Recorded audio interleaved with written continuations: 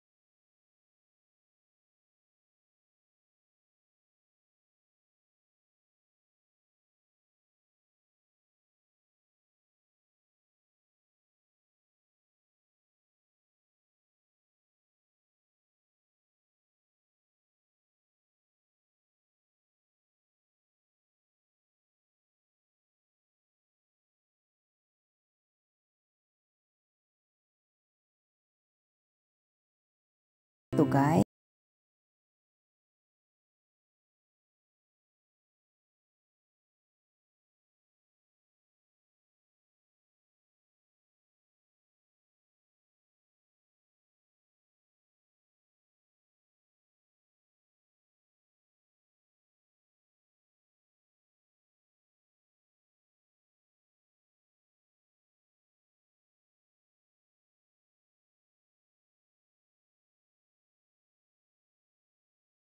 Na at may papunta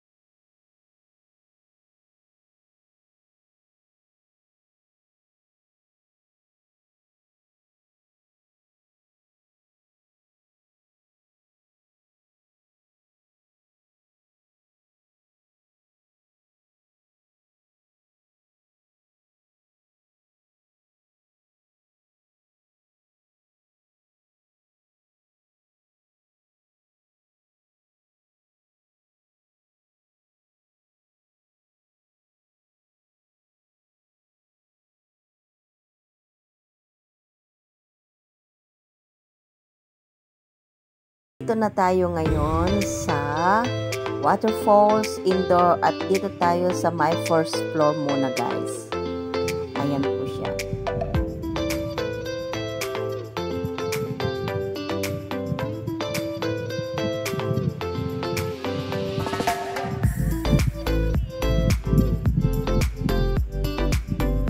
Napakagandang tingnan at saka malamig. Pag nilapitan mo ay talagang sobrang lamig.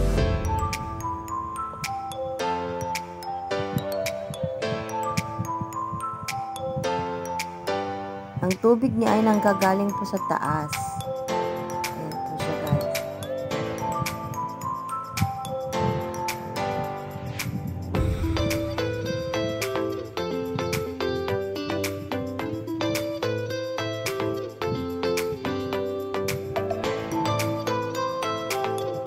Mamaya po ay mag-iba-iba na po yung mga kulay niya.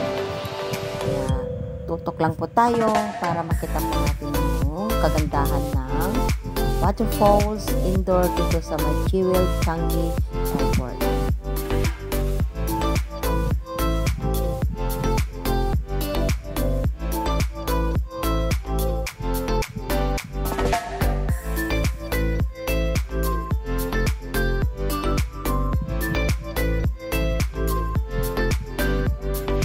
Ayan, nag-iba na po siya ng kulay, naging pink na po siya.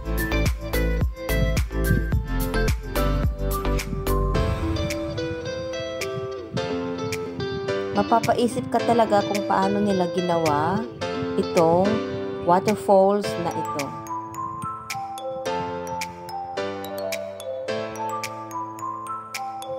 Napaka-amazing talaga siya guys. Ngayon dito naman tayo sa second floor. At nag-iba na naman ang kulay.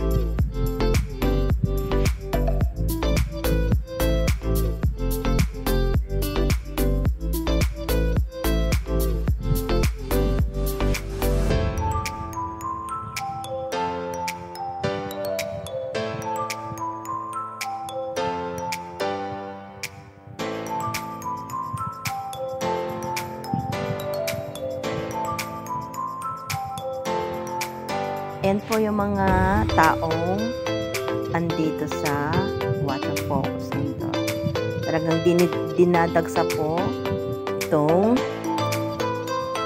falls na ito. Kasi napakaganda po talaga.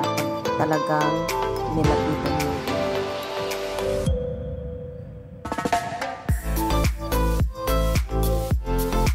Ang galing talaga yung may idea yung gumawa nito. ang ganda. Mga tubig nando sa taas, pababa po siya, pababa. Saka napaka, napaka-colorful dito sa mga puno sa tabi niya. Di ba ang daming tao, guys? Maganda kasi pag sa gabi. Mapa-amazing ka talaga dahil napakaganda talaga guys. At sana all ay makapunta. Wala akong masabi kundi puro maganda guys kasi napakaganda talaga niya. Ayan, nag-change na naman siya ng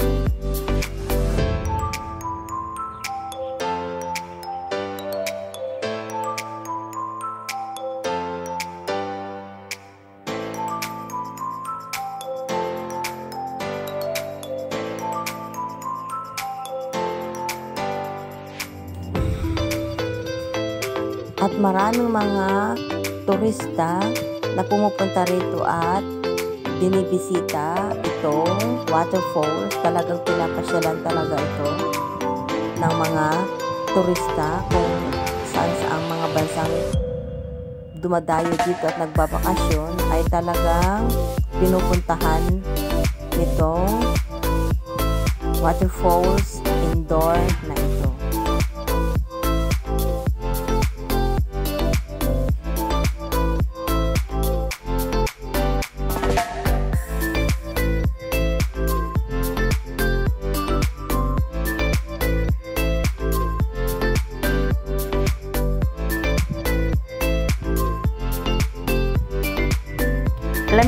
Nyo guys, mula nagawa itong waterfalls indoor na ito ay pangalawang beses ko pa lang ngayon. At ngayon ko lang medyo nalapitan talaga. Ayan, nag-change na naman siya ng kulay, color grain.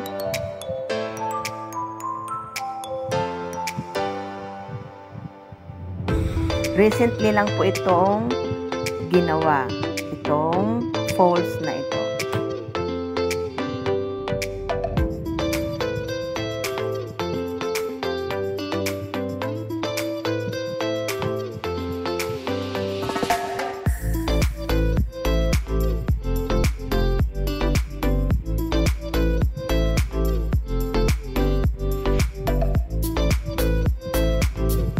Talagang napaka high-tech talaga ang gumawa at may idea kung paano ginawa itong falls na ito.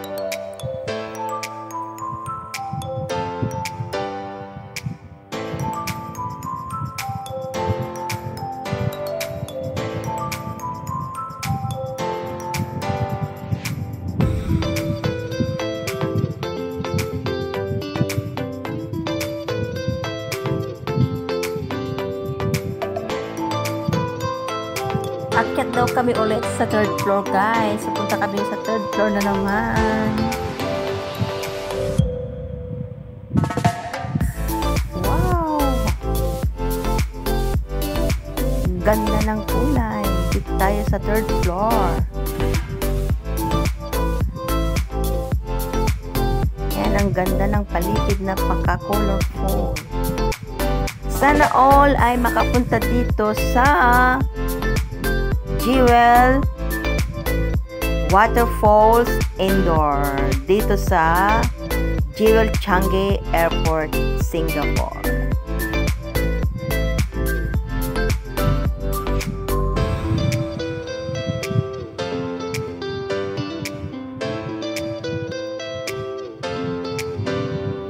Yan, change na naman siya ng kulay, naging yellow.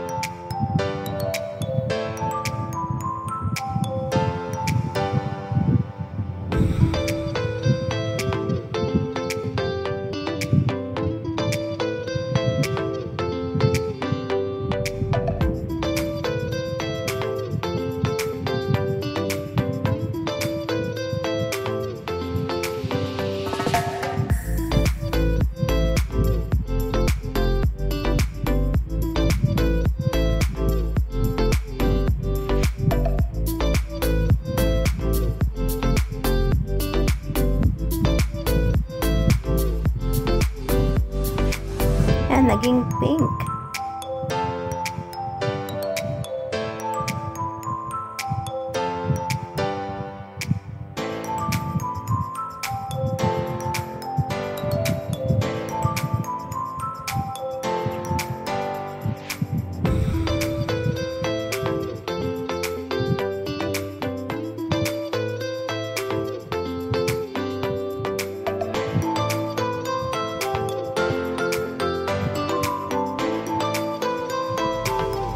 Itong waterfalls na ito ay nandito sa loob ng mall. Kaya natawag siyang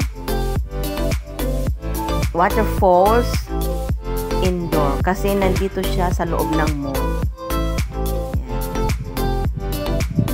Sus, ang ganda talaga. Dito na kami sa fourth floor.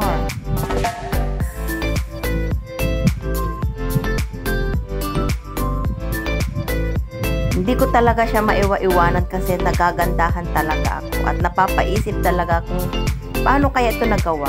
Kasi sobrang ganda talaga at talagang mapapaisip ka talaga kasi tingnan nyo naman guys kung sino ang may idea ay napakagaling. Ayan, nandito na ang waterfalls indoor. Bisitahin nyo guys at punta kayo dito.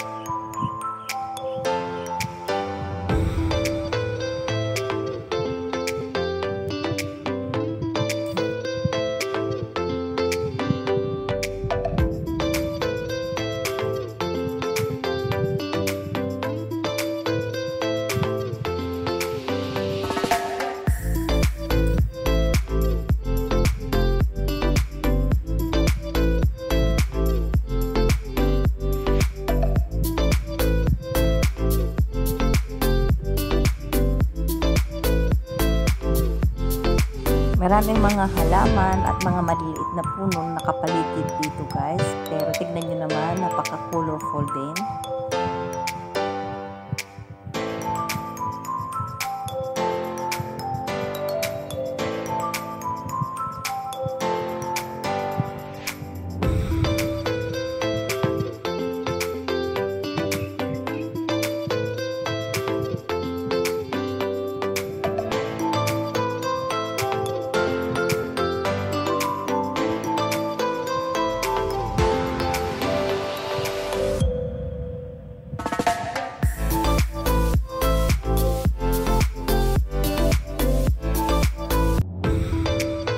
Now, nandito na tayo sa loob ng mall.